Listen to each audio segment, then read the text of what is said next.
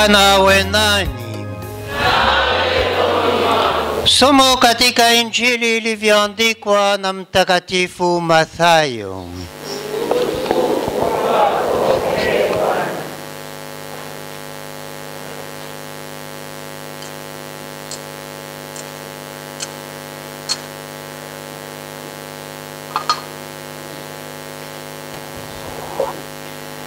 Tunasoma katika Mathayo sura kumi na nane kuanzia ya kumi na tano hadi ishirini.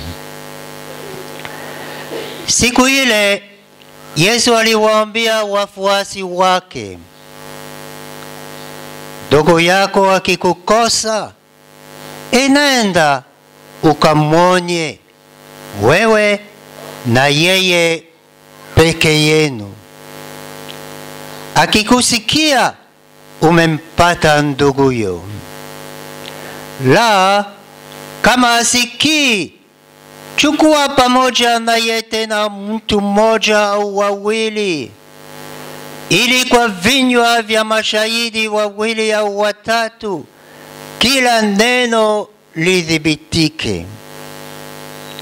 Na asipowasikiliza wao, liambie kanisa na asipolisikiliza kanisa pia, na awe kwako kama mtu wa mataifa na mtoza ushuru. Amin, nawaambieni, yoyote mtakayofunga duniani yatakuwa yamefungwa binguni na yeyote mtakayoyafungua duniani yatakuwa yamefunguliwa mbinguni. Tena anawaambia ya kwamba wawili wenu watakapopatana duniani katika jambo lolote watakaloliomba, watafanyiwa na Baba yangu aliye binguni Kwa kuwa walipo wawili watatu wamekusanyika kwa jina langu, nami nipo papo hapo katikati yao. Neno la Bwana.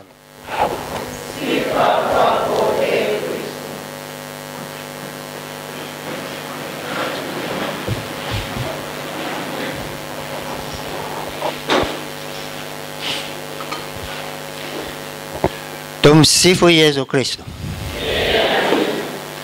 Leo nipo mbele yenu meacha pori langu lo na wana hata hii ostia leo kuadhimisha misa hey! Basi Mungu alitaka nikae mbele yenu leo.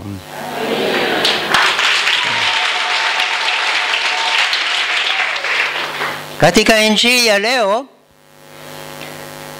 Yesu anatuonyesha hatua za kuchukua ili kupatana, na natuonyesha hatua tatu ambao ambazo ikiwa tunataka kupatana lazima tuzichukue. Kwanza twende na mtu huyu ambaye ametukosa, tupatane yeye peke yake. Ya pili, Yesu anasema nini? Anasema kama hataki kukusikiliza, basi chukua watu moja wawili pamoja nawe, wende mshauri ili apatane nawe. Kama hataki, basi waambie kanisa, yaani viongozi wa kanisa. Na tena kama hataki, basi mwangalie kama mpagani. Je, unachukua hatua hizo?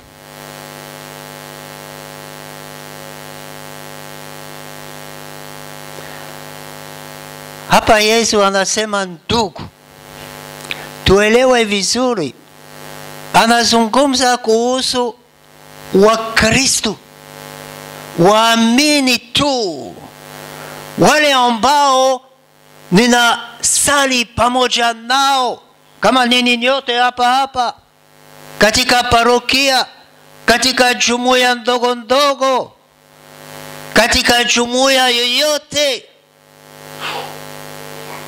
Ndugu wa Kristo, waamini wenzangu, ukisoma barua ya Paulo wa Korin, barua ya pili ya, ya Korinto kwa Korinto sura sita kama nakumbuka aya saba anasema Paulo anashangaa kwa sababu waamini wanashtakiwa mbele ya wasioamini. Anasema je, hakuna watu kati yenu ambayo unaweza kuwasaidia watu wapatane? Ni aibu kwenu kuhukumiwa, kuhukumiana mbele ya wasioamini. Kwa hiyo hapa, ndugu, maana yake ni Wakristu, ni mwenzangu hapa hapa ambayo ninasali pamoja naye, ndio ndugu. Sasa leo ningependa kuzungumza hatua hasa hatua ya kwanza, kwa sababu mara nyingi watu hawachukui hatua hiyo ya kwanza, wanakimbia hatua ya pili, tena hatua ya tatu, wakati wanaacha hatua ya kwanza. Yesu anasema nini? Mtu akikukosa akukose kwa namna gani? Kama tunavyosema katika mung, na kuungamia kila siku kwa maneno, kwa matendo, kwa kukosa majibu. Anaweza kunikosa kwa maneno, na mara nyingi inatokea hivyo nanikosa kwa maneno, anasengenya, anasingizia, ananitukana, ananisema mabaya na kadhalika. Ni mara nyingi inatokea hivyo. Pengine inatokea kwa matendo, anapiga hatua zaidi, ananipiga kofi na kadhalika. Hey! Haitokei namna hii? Inatokea au kukosa wajibu, anakanyaga hii shamba langu, anapeleka hii mpaka ya shamba langu mbele yake na kadhalika, na mambo mbalimbali. Hataki kutimiza wajibu wake kwa upande wangu, na mambo yanatokea kwa sababu ya udhaifu wetu kwa sababu ya tamaa zetu, kwa sababu pia adui adui mara nyingi yupo chini chini ya maneno mengi yanayozungumza, kwa sababu kazi yake ni kuleta mafarakano katika kanisa. Kwa hiyo Yesu anasema nini? Anatuonyesha njia ya kufanya. Anane, anasema nini? Enenda, ni amri, anatupa amri. Anasema wewe ambayo ndugu yako amekukosa, wewe mwenyewe uende, sio usubiri. Padri, sio mimi nimekosa, ni huyu amenikosa, ninasubiri aje kwangu. Pumbavu we!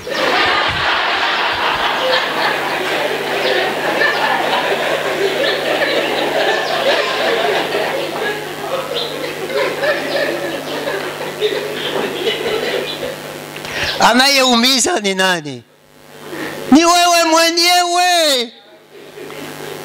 Hiyo wewe unaendelea kuumizwa kuumizwa, wakati unasubiri ndugu yako afike kwako, ndugu yako hatafika kwako.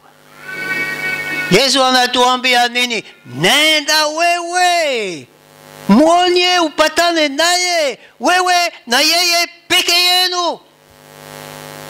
Mara ngapi unafanya hivyo? Hamfanye, hatufanye. Kwa nini? Sijui kwa nini, kwa kweli hatutaki, tunaogopa, sielewi, au kwa sababu ya kiburi chetu, ni yeye lazima afike. We,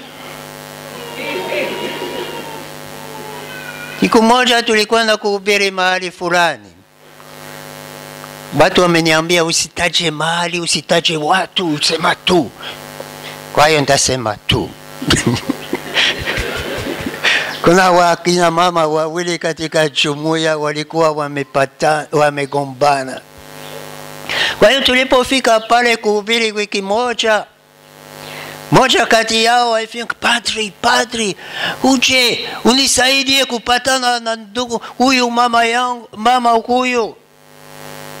Nimwambia hii naenda mwenye wewe mwenyewe kupatana, padri, haiwezekani, na kuambia haiwezekani. Tangu miaka mitatu hatujasalimiana. Kaondoka, labda kwa hasira, sijui. Kesho yake anarudi, sema padri, tafadhali uje utupatanishe sisi wawili. Mesema naenda tu, zungumza naye. Haiwezekani padri, nasema haiwezekani. Sijui aliguswa na neema ya Mungu namna gani. Kesho yake alifika, sasa akuniambia kwamba padi uje tupatanishe. Hata alikuwa na furahi. Nimuulize imetokea nini? padi unajua hey, nimechukua nguvu zangu zote, nimekwenda katika chumba chake, nimegonga hodi hodi, nikasikia karibu, nikafungua mlango. Huyu mama aliponiona alisema ha, ni wewe, akanikumbatia we Naka...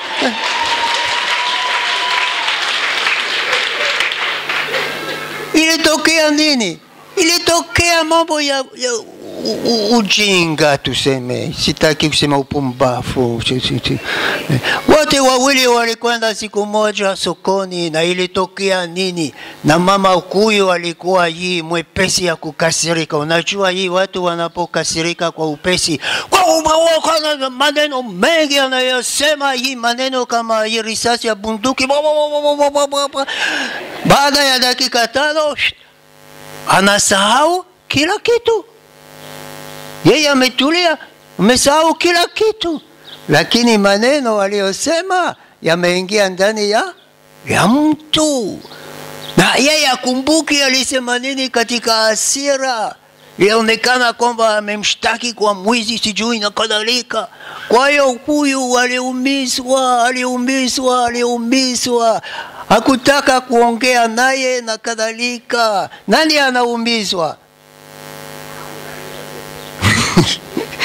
ni sisi tunaumizwa na watu wengine. Huyu amesahau, hakuwa na habari yoyote, alishtuka, alishtuka kwamba huyu ame hamsalimii na kadhalika.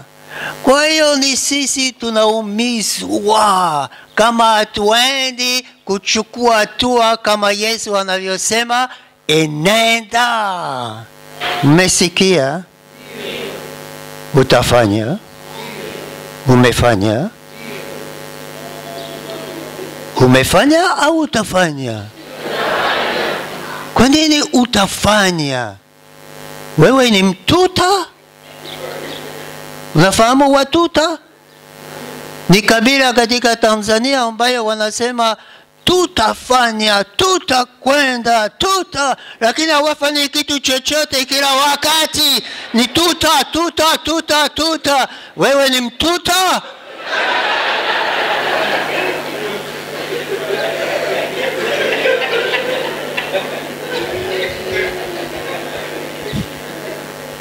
Mungu wangu. Kwa hiyo lazima tuchukue hatua hiyo. Mara nyingi tunakwenda moja kwa moja kwa padi, padi unisaidie. Nakumbuka mkatekista mmoja alifika akaniambia, padri, hey, ina shida kweli, nikifanya kazi mimi natoa jasho na kadhalika, narudi nyumbani mke wangu hanipigi chakula. Hey, sasa ni siku tatu hataki kupika chakula. Mmefikiri hapa serious case hey. Kwa hiyo ilibidi niwaite mkatekisa na mke wake, muuliza mke wake, je, kweli ukumpika chakula kwa siku tatu? Ndio padri.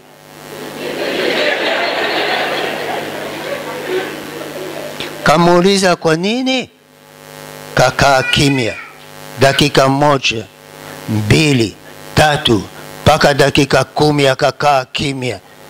Baadaye aka- akasema, padri, huyo anafanya kazi miezi na miezi, sijaona hata senti moja ananishirikisha. Ah. Mesema basi kesi imekwisha, naendeni na amani.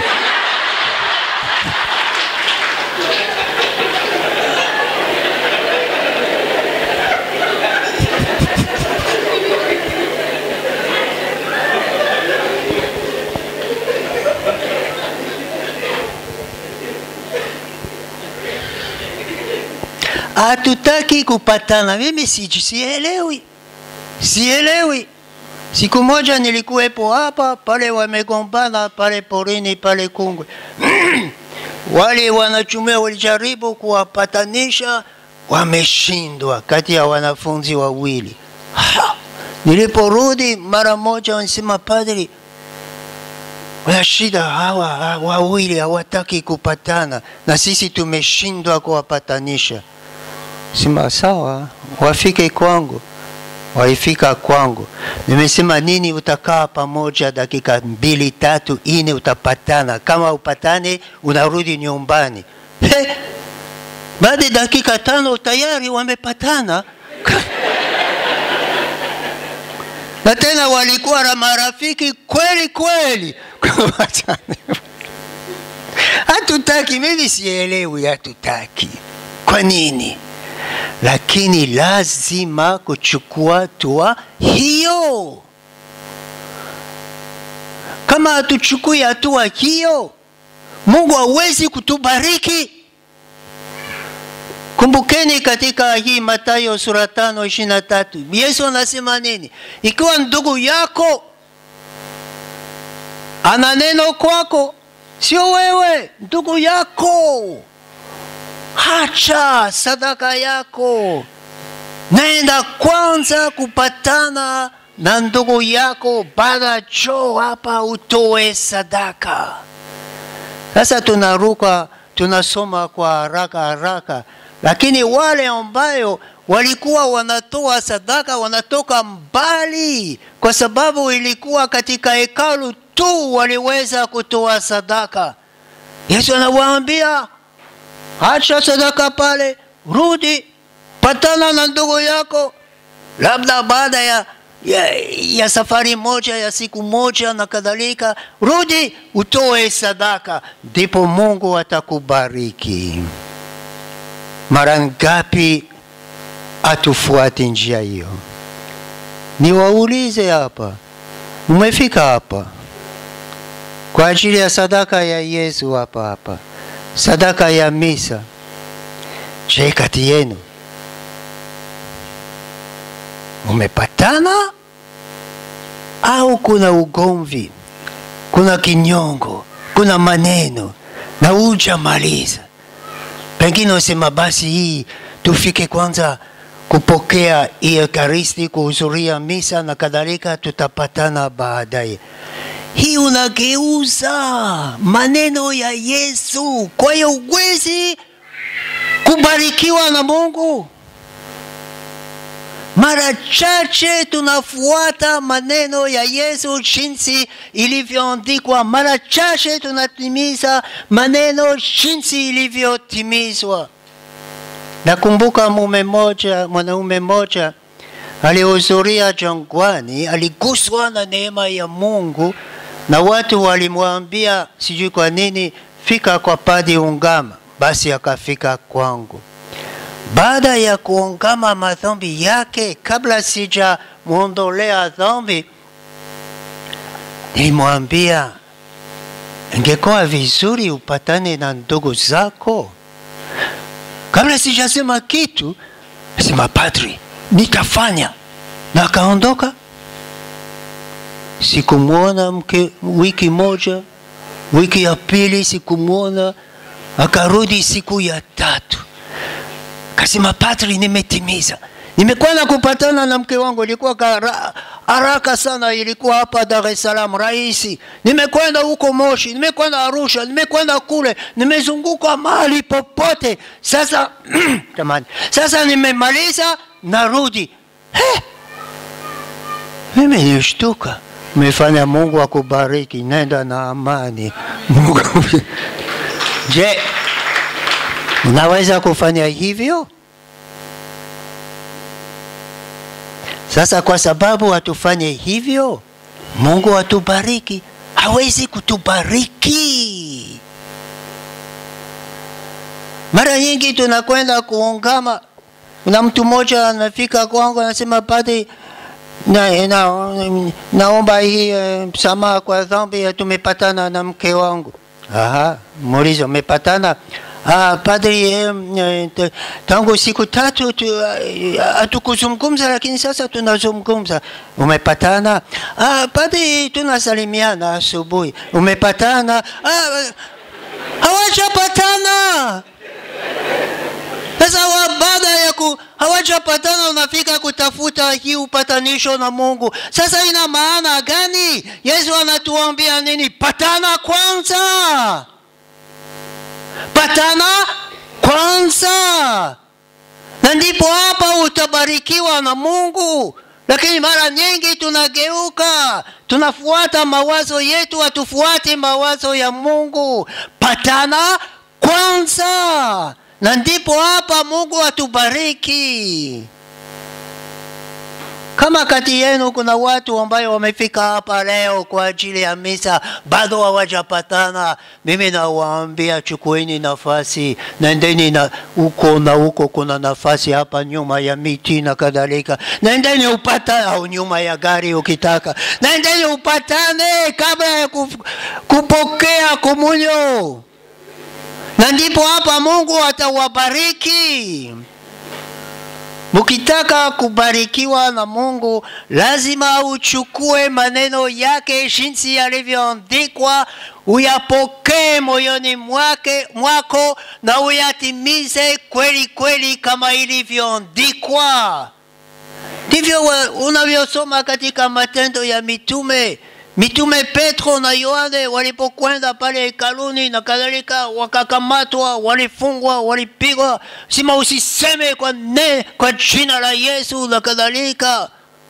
Basi wao waliporudi nyumbani wamekusanyika waamini, wa na tunasoma nini?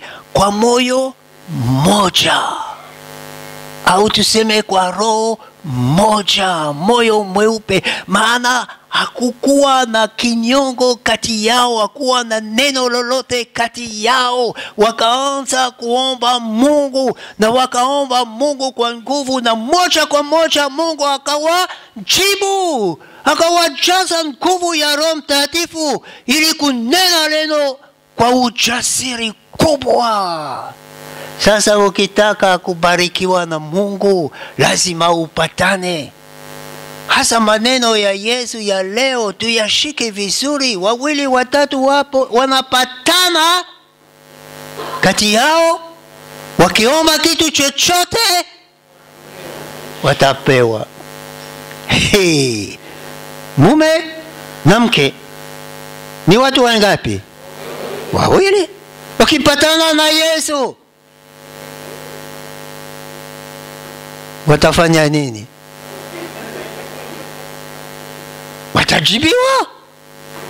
Watatu, mume na mke na watoto na mtoto, wakipatana wakiomba pamoja na Yesu watasikilizwa.